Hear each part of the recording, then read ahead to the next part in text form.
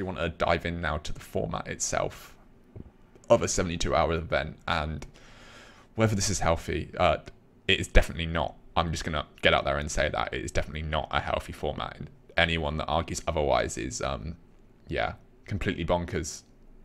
So, my overall thoughts are that I spent a lot of time preparing for this, a lot of time, you know, really working hard, working stuff out. I put a lot of hours of graft in to come out completely empty handed.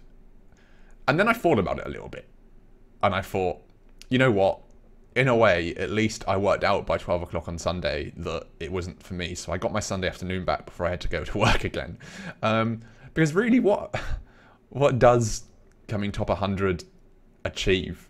Uh, or even coming top 10, I suppose top 10 has an icon and a bit of bragging rights. I would have been very happy if I'd done that. But it doesn't matter unless you come first in terms of qualification. So maybe it was a blessing in disguise that I, I tilted down and got a bit of time back for myself because mentally I needed it.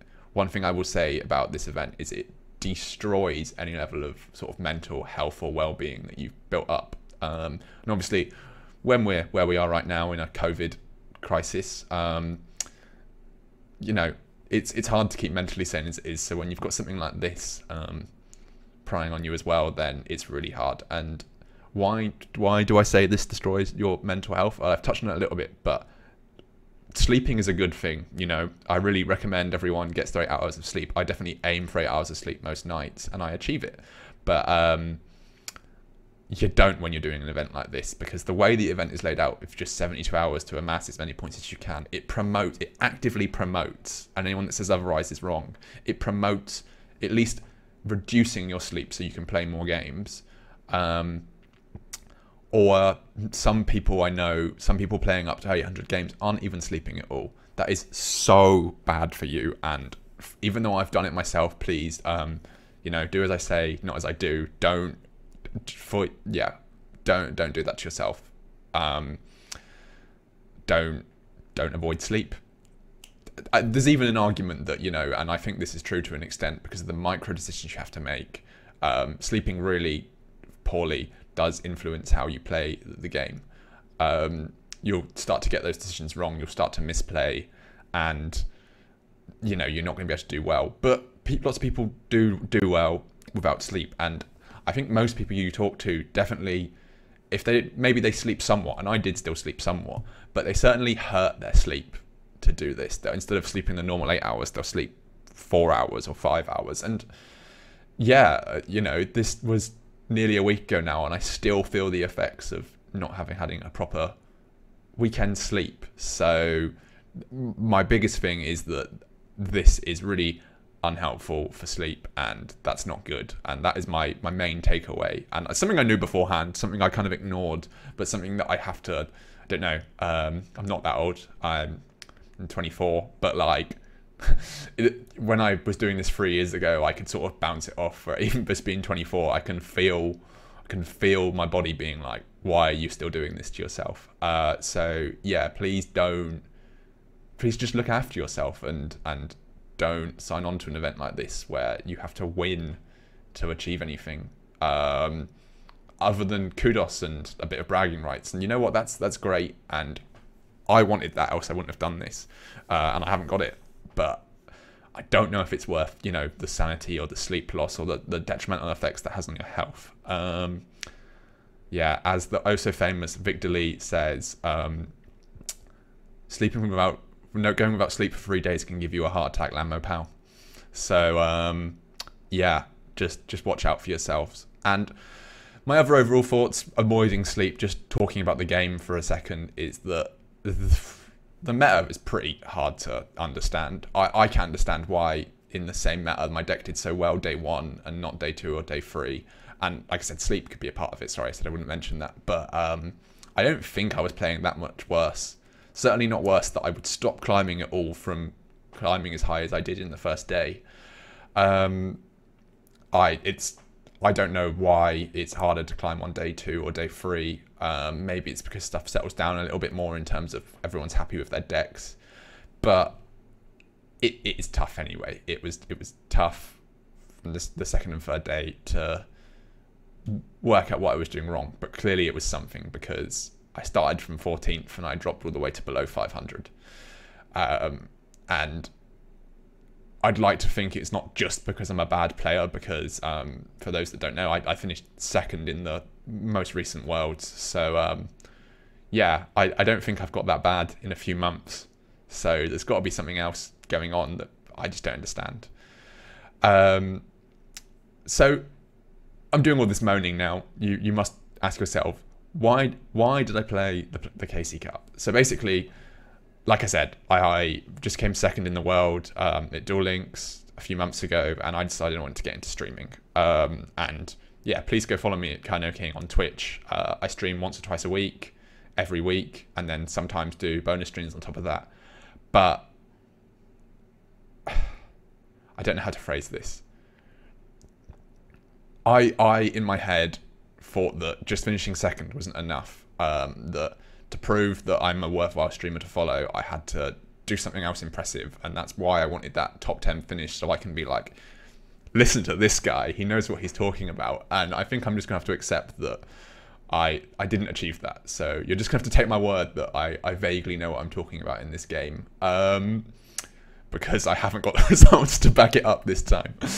Um, so yeah, that was sort of my main motivation for playing. I wanted I wanted to prove to people that I was a worthwhile listening to, and I thought a good result would do that. Now, is that worth giving up a weekend for? I think you could argue no. I think maybe because we're in a national lockdown in England at the moment anyway, uh, I sort of thought, what else would I be doing this weekend? But yeah, don't don't necessarily recommend. Um, it was a good reason to play this um, so hard. But yeah, that's why I did it. And I thought there was an outside chance that I could have won if everything went right. You know, if you've come second in the world, then it must be possible to come first. You're only it's only one game away from winning the world. So why couldn't I finish first globe if everything went well for me? Obviously, I got nowhere near, and even at my highest, I was still quite far away. I was still sort of ten wins away from the top. So maybe I have to accept that this is a format where I can't do that.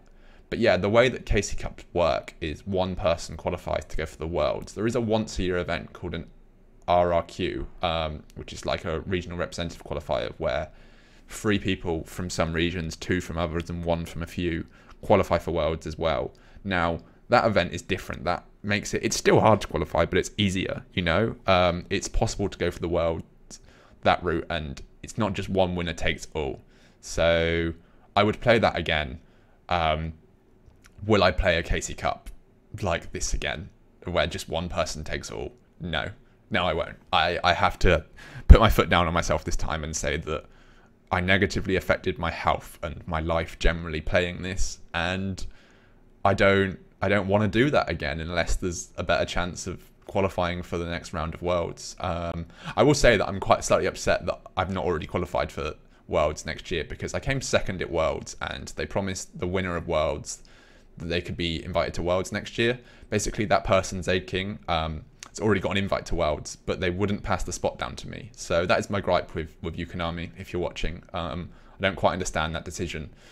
Um, but yeah, because I would like to go again, I, I will play the regional representative qualifier, but um, I'm not playing a KC Cup again because there's no, I can't see the point uh, because I don't think I'm good enough to win one outright, I, and I don't even if I was, I don't know if I want to put my body through the amount of hell that I put, just put it through. Um, and I think for my own sanity, I am going to be stepping away from them. As long as they're in this 72 hour format, just play as many as you can, win as many as you can. Um, and that is my that is my view on it. So I don't think the system is entirely defunct. I think that definitely good players do well in it because some of the best players like Negative One, like Grucius, consistently perform well. So there is definitely an art to it, and they are I know good players.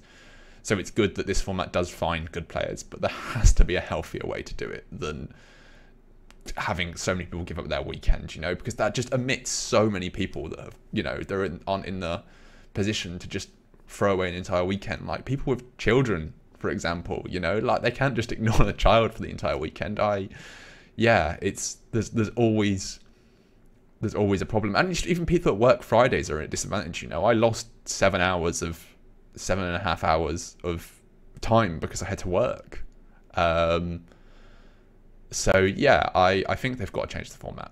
Uh, I'm not saying I think they will. I, I, I don't think they're going to anytime soon, but I think they have to to help everyone out and to, promote healthier lifestyles and a healthier game.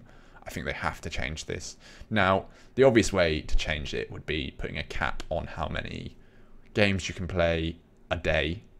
Um, something like 100 is still a lot of games, but like considering it's a, a big global event, like I think Worlds, I think asking people to play 100 games a day is reasonable. Um, and you know, it would uh, people are playing 800 and 900. Maybe 75 is right. I don't know, but the, the, a cap would be a start. It would be a start. You know, like you'd find, and then not everyone would have to play the entire cap to win because you don't just by playing more you don't always win it's just that when you start playing a lot more then you know your win rates can be narrower and narrower and you still do well um, 300 games i think the person that people that would be qualifying would be better i also think that generally doing these big events where only one person qualifies is a bit of a, a, a scam anyway um, i think more qualification spots or it, it may be even top 10 qualify for the next stage or something like that. I think that works a lot better. Um, the KCGT, which is what I entered and came second in, they gave something to the top 100. They all qualified to the next stage. I think more people than one have to qualify per event. I just, I don't think that's that much to ask. That, you know, the people that put all their time and effort in and do really well at this event have something to show for it uh, instead of just an icon or a mat. Um, I think yeah, more than one person should be qualifying. Maybe not to worlds directly, but at least to the next stage of qualifying where they can they can work out what they want to do from there. Uh, so yeah, game caps one. Like I said, maybe in, instead of game caps, there could be a caps on after you've lost ten times, you've done for the day, or they could just run better qualifiers before this event so less people are in it in the first place so they could run a tournament style thing. Now that would probably involve them putting a button in for who goes first and who goes second. I've heard that's in the coding but personally i think that's going to be something that we're waiting for for a long time. Uh, so yeah. Uh, uh, you know it's not my job to work out the future future changes. As a player i feel like i have a decent insight into what i think they should be but You know i don't want to suggest anything outright i just think that konami please just consider helping people out and making this game better uh, by making your premiere event um, healthier. And that's that's my ask. And that's kind of the end of this video. Um, thanks for listening to my rant slash general overview of my performance. But yeah, in in conclusion, it didn't go well for me. Um, I don't necessarily think that means I'm terrible. Um, because I know lots of other good players that you know, didn't do this, and I think that the format is flawed. Even if some good players do consistently do well, I hope that Konami changes its game.